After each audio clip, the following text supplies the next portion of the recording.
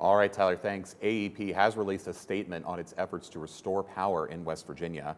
They say their storm response team has prepared for the wind gusts and spent the day making repairs.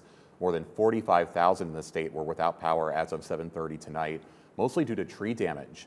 The company says they will not be able to make accurate estimates for when power will be returned until the weather dies down later tonight. AEP will send out its next update tomorrow morning at 11 a.m.